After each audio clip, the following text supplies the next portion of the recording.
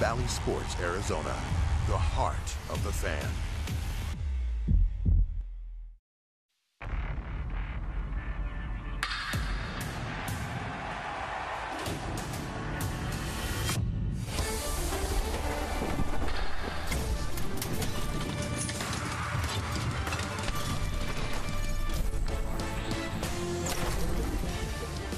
From Rogers Center in Toronto, Gila River Resorts and Casinos brings you Diamondbacks Baseball. It's the finale of our three game visit to the Blue Jays on Bally Sports, Arizona.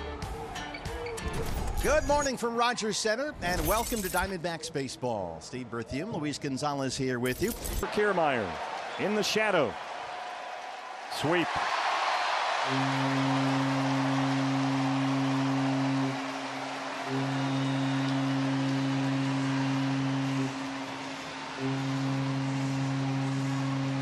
Well, they made a valiant effort with three home in the ninth inning, but they lose at 7 5 of the finale, and they are swept in three games here at Rogers Center.